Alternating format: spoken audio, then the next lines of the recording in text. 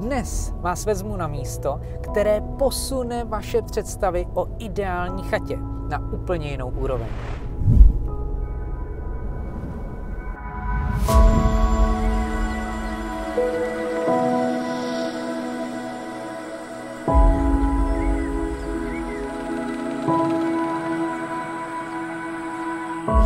Tohle není žádná provizorní stavba na pronajatém pozemku bez sítí. Tohle je zděná chata s klimatizací, s podlahovým vytápěním, s krbem, na pozemku přes 3000 metrů čtverečních. Tohle je prostě geniální.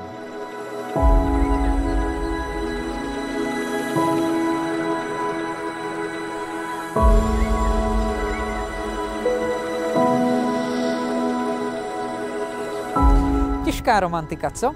A to jste ještě neviděli všechno. Než půjdeme dovnitř, tak se koukneme na zahradu, protože tohle místo je unikátní. Celý pozemek má 3235 metrů čtvereční. Z jedné strany les a z druhé strany řeka. Tohle si myslím, že je dostatečný prostor na zábavu, ale i na odreagování se od všedních starostí a práce.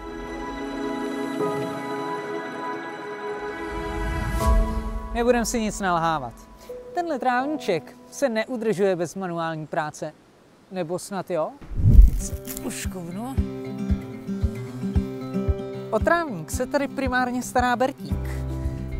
Bertíku, Bertíku, Bertík. To tady má těžce pod palcem.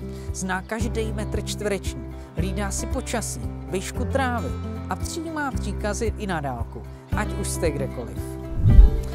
Na těžkou práci tady máme jiný kalibr. Představuji vám Arnolda. Pašák.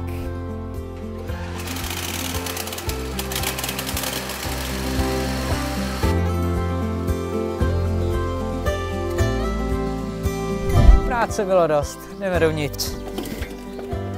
Ah. Chata prošla před pár lety rekonstrukcí. Je napojena na městský vodovod, má podlahové vytápění a plnohodnotnou koupelnu se sprchou. V patře jsou dvě klimatizované ložnice a otevřená půda třeba pro děti nebo příležitostné přespání přátel.